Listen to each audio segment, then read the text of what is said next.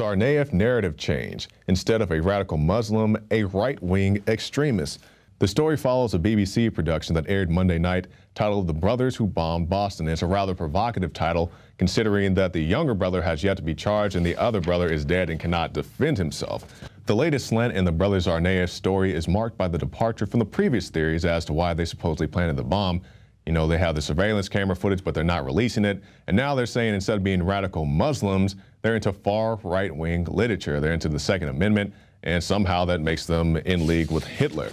In March, the SPLC sent a letter to Eric Holder and also Janet Napolitano urging a task force to investigate the likes of Alex Jones, We Are Change, Oath Keepers, the Constitutional Party, and as well as many others saying that we're domestic terror threats because we don't go along with the official story. So now, you know, because uh, the, the brothers Tsarnaev allegedly watched Infowars.com, which I definitely recommend that you do as well. And we have the On On saying that she enjoyed our programming. Somehow that makes us accountable to them allegedly blowing things up. Once again, nobody has been convicted of any crime, and this, they may have been convicted in public opinion, but other than that, not at all in any actual sense of reality.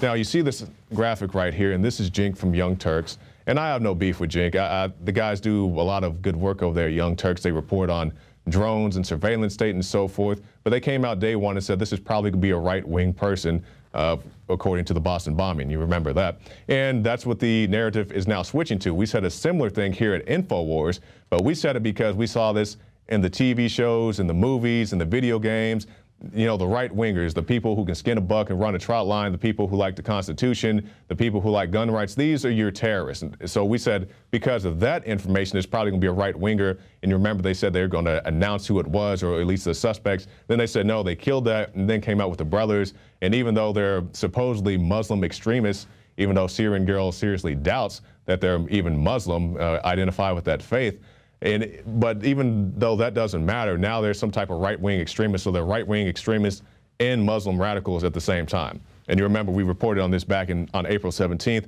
Officials, Boston bombing likely carried out by domestic terrorists. So you can go back and watch those archives and see that, you know, we were right all along. They tried to spin it so now Muslims are right-wing extremists as well.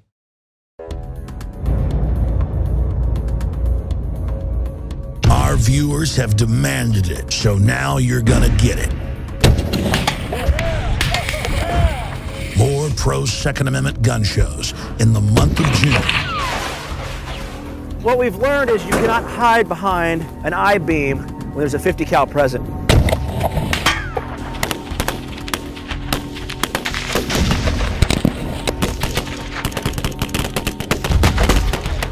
In Arms 50 cal ammo review and more. Coming in the month of June to the InfoWar.